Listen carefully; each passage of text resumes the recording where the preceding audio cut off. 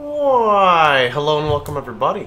It is Pohx again. So today, in this video, I want to go ahead and kind of show you guys a really insane leveling setup. Now, I know my character's gear right now is actually worth quite a bit when I go over it, uh, but you'll see that it is very, very, very overkill, and you don't need anything near this spectrum of gear to actually pull off a character like this. So this is just a level 56 uh, Freeze Pulsar that I'm currently leveling. Uh, I went CI at level, I guess, 53, I think is typically when I go CI when I use Skin of the Loyal. And uh, it's going to be my crit incinerator, but like I said, I was leveling as crit freeze pulse because, you know, incinerate, well, first off, I'm going double totem, so I kind of need ancestral bond, so that's kind of, I guess, the, the main thing holding me back at the moment.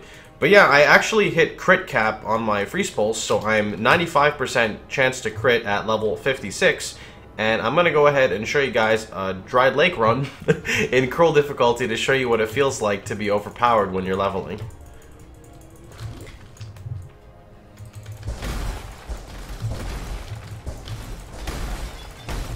So if you want to see the crit chance, you can see it right there.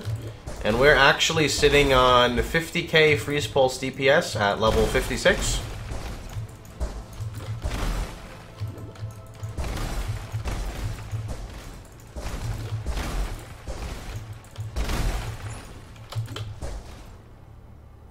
Where's Mr. Voll at? Mr. Voll! Where you at, buddy?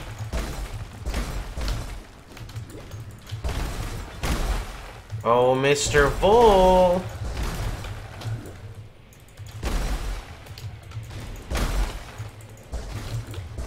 He's running, boys. He doesn't want to pop out and play. I feel like I'm mapping already on this character. it feels so good, dude.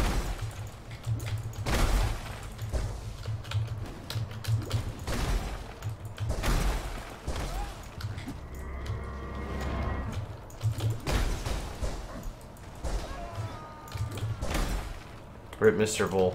So yeah, just to give you guys a little bit of a, a setup on how this works, it's kind of like a, a, little thing I've been doing of recently, where I've been transitioning majority of my builds to CI at level 53, and the reason for level 53 is Skin of the Loyal can be used pretty much at whatever level you want. It's like a tabula rasa, but it gives the additional 100% increased global defenses, which will scale discipline. Um, Ascent from Flesh is a belt for level 44, so Ascent from Flesh you would also wear. Rainbow Strides are for low level that give all maximum res and 120 ES. Martyr's Crown gives 355 ES. Voidbringers give 200, and then you get your Eye of Chayula for stun immunity and a decent shield, and you're pretty much good to go. So, pretty much the way this setup works is Freeze Pulse was buffed. I don't remember exactly when they buffed it, but they did something to buff it. But the, the huge thing is that it gets GMP for two jewel slots now. So you basically use two first snows.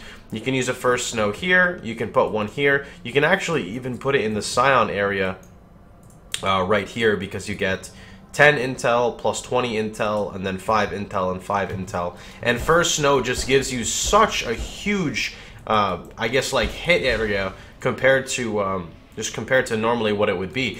And the really cool thing is projectile-based builds seem to get scaling a lot quicker and they're just a lot better from my personal experience now with like the huge hit to AoE changes. Um, so that's pretty cool as well.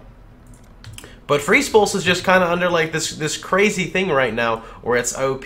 So another really good interaction with Freeze Pulse is actually, and you can use this with anything, but it's the Tulborn Spiraled Wand.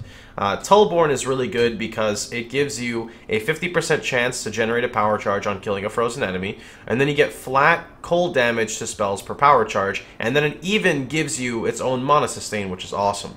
Now, the freeze pulse links I'm about to show you are not really links that you should use necessarily. These are the, the links I'm going to use for my incinerate, so I decided to work with what I had.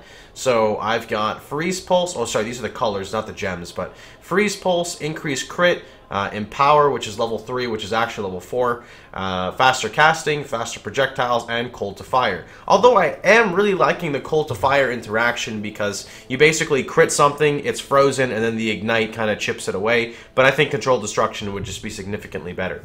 Now, the other thing that I'm doing is I actually have perfect all resist, meaning everything on my gear is just all resistance. So Le Heup gives all res, Rainbow Strides give all res, Ascent from Flesh gives all res, um, I've got a Prismatic Eclipse that gives only all res, and then of course you have like Nullification for all res, which means that when I hit my Wise Oak, I'm actually, I believe, is that mitigating and um, I don't know if it actually mitigates it. I'm pretty sure it does. It mitigates and you gain the penetration for each one. And since I'm cold to fire, it works for my fire and my cold. So a little bit overkill there as well. But uh, hey, sometimes you want to feel OP, right? So that's been a lot of fun.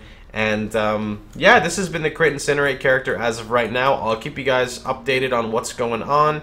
Um, the transition is going to be pretty soon. I just come through here, basically. I need to grab Shamanistic Fury, come over here, grab Shaman's Dominion, uh, move across here, and then grab Ancestral Bond and this Power Charge, and then Faith and Steel, and we're good to go. So probably like 20 levels, so uh, I'm hoping maybe less than 20 levels, probably by like 75. The other thing is we do have a prod Speed helmet that we crafted here as well. So, or here. Yes. So we're waiting on this one as well. Anyway, just wanted to keep you guys updated kind of with what's going on. Um, remember as well that you don't have to be an assassin to do this setup either. Assassin just works out really well because of how insane like Deadly Infusion is, which Deadly Infusion basically gives you base critical strike chance per power charge. So Assassin would be used, or I should I would say would be necessary to cap your crit chance, but you don't really need to do that either for leveling. You can just use a Diamond Flask because Diamond Flasks basically roll your crit chance twice, uh, which is, I mean, it's pretty insane as well. Anyway, I just wanted to keep you guys updated with a little short video clip. Hope you guys enjoyed it. Uh, and as always, if you did, please feel free to like, share, and subscribe. And remember, you can catch me streaming live every day at twitch.tv slash Pohx.